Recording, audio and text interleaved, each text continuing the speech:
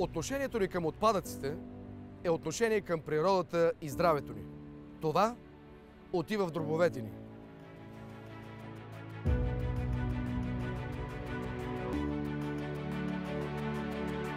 Това също.